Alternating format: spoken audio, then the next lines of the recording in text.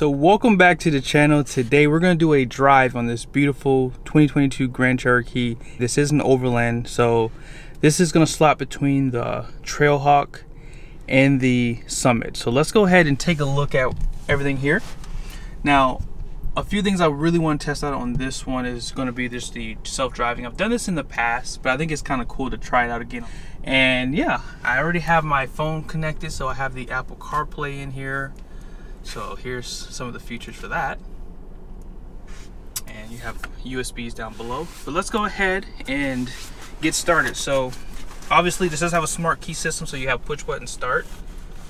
And so what we're gonna do is we're gonna slip this key right here. So Jeep does give you a convenient spot for a key.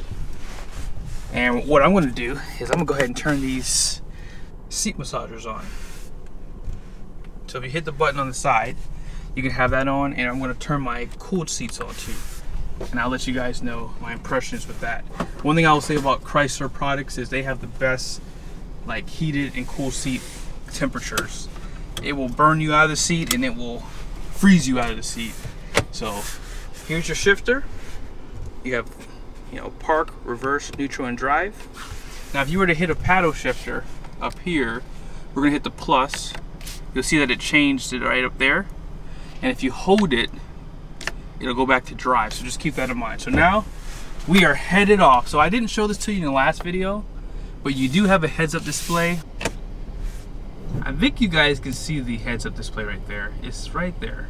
It just shows the miles per hour. Now I don't see where you can adjust it. So for now we'll just keep it the way it is. All right so let's go ahead and go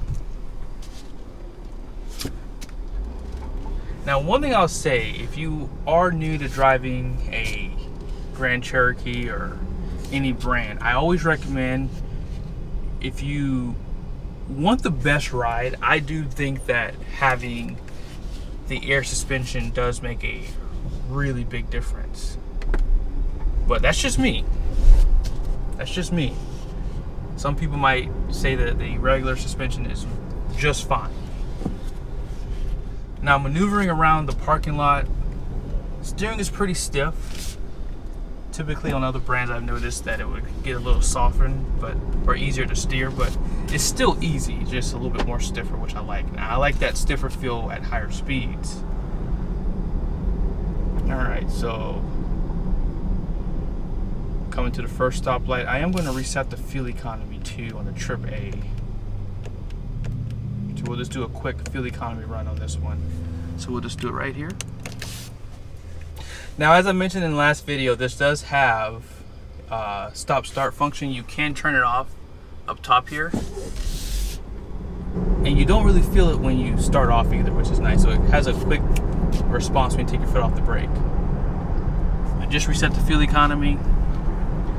And yeah, so far so good. This is definitely comfortable. My seat massagers feel good. The cool seats is definitely working perfectly. Let's turn that down a little bit.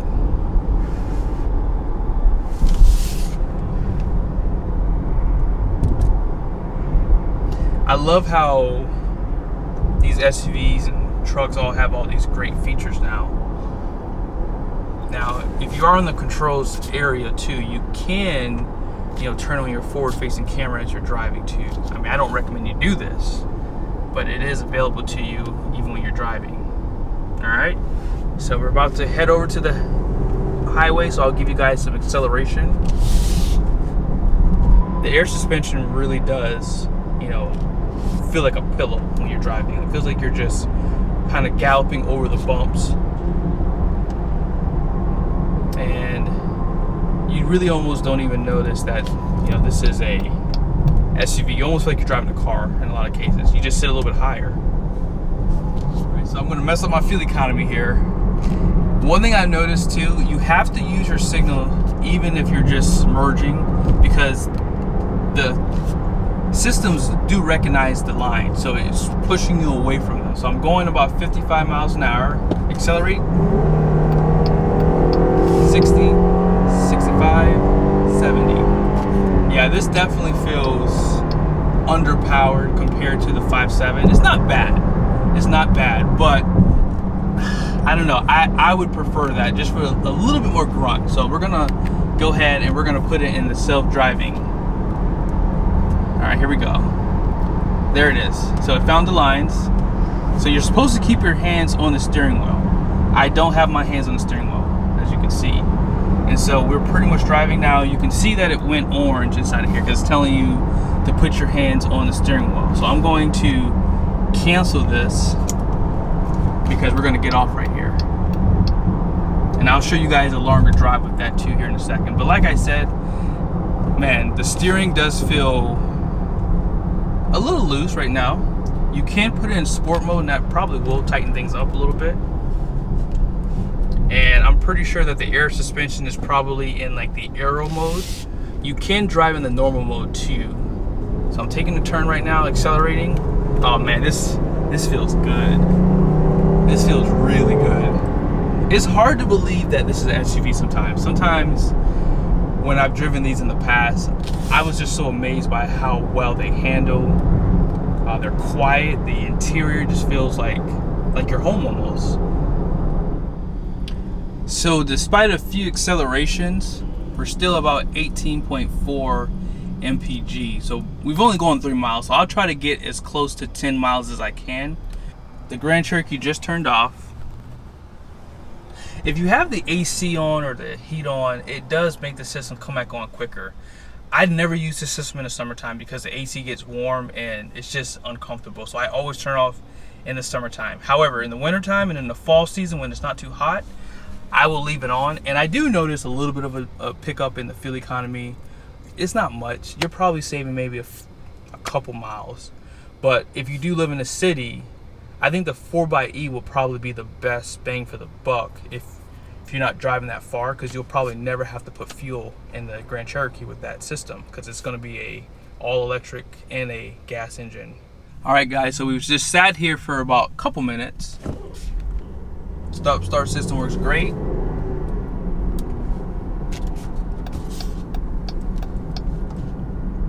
And if you just tap down the, the turn signal stock, it does give you three chimes for your turn. So you don't have to turn it back off or if you're changing lanes, things like that, you don't have to worry about clicking it back up.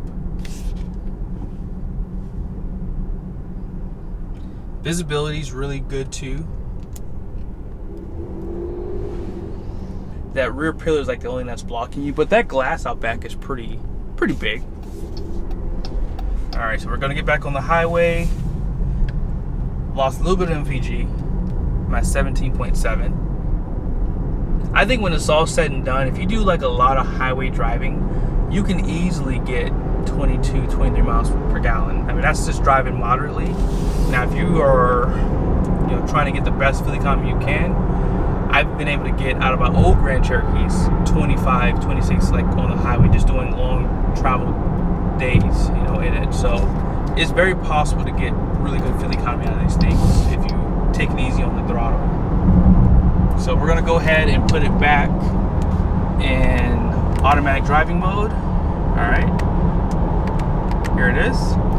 So it's once it illuminates green inside of here, I think you guys can see the greenness on the side. That's how you know the system's on. Now, the only thing I don't like about this self-driving is when you do get behind slow cars, this is going to just keep you at the same speed as the car in front of you. So you have to obviously cancel it out, get around the car, and you just have to keep doing that. Now, if you're okay with just driving at whatever speed you want, like this road is 70 miles an hour, I'm going 45 basically. Now we're about to get off on a, on a ramp here. Let me just keep the system on here because let's see if it's going to take me around this turn. This is a pretty, oh, see that?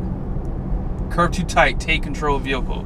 So I'm glad I saw that. So it says curve too tight, take control of the vehicle. So this system's not going to turn that steering wheel all the way to get around that curve. So it seems like it's still driving the car.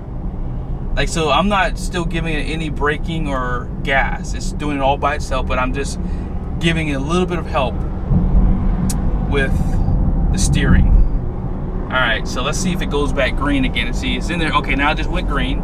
So now it's saying, hey, the steering's fine. I, I can take control of it again. All right. Now, if I turn the signal on, it does disable the system, so just keep that in mind. We're gonna get around this slow truck. All right, so we'll get up to about 70. All righty. Here we go. Oh yeah, that's perfect.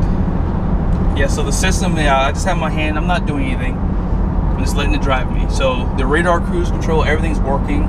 You can set the distance for that too. I'll see a car just jumped in front of me, so it's slowing me down. So if you want,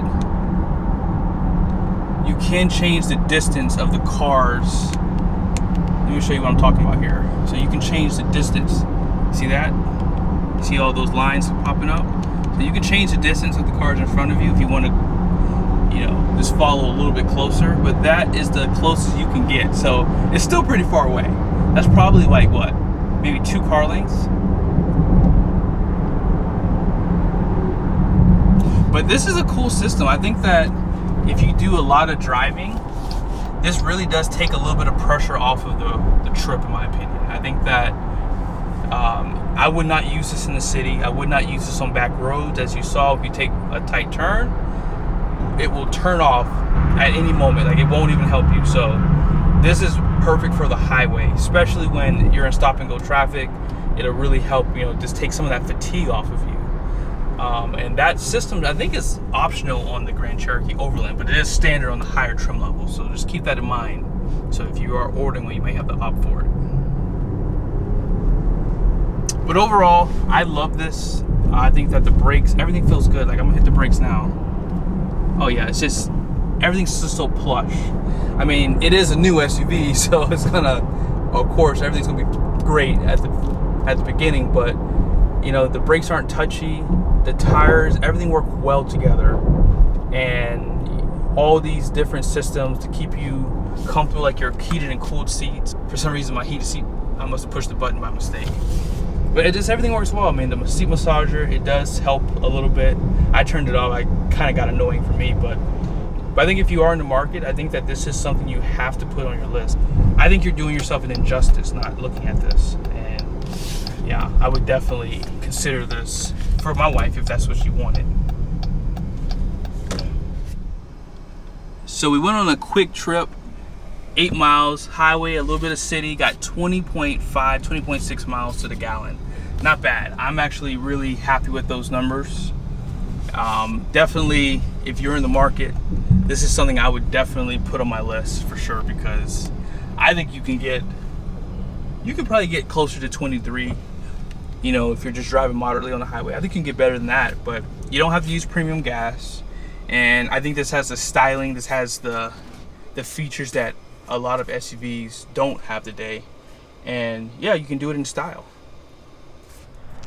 I think that the Grand Cherokee is one of those models that you really just when you see them, you just know that it's something special. And I think that you know with Stellantis, you know, merging with Chrysler, I think that you can really see that they're really going to the next level with this brand. And even when you think about the Wagoneer and the Grand Cherokee L, like every model that they have from Jeep is just really a top-notch unit.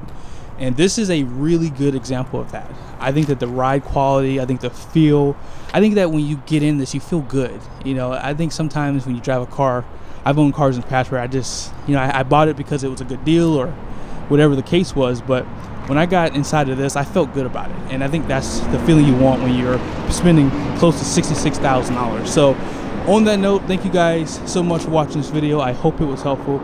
Be sure to give me a thumbs up, like the video, and subscribe to the channel. Thank you.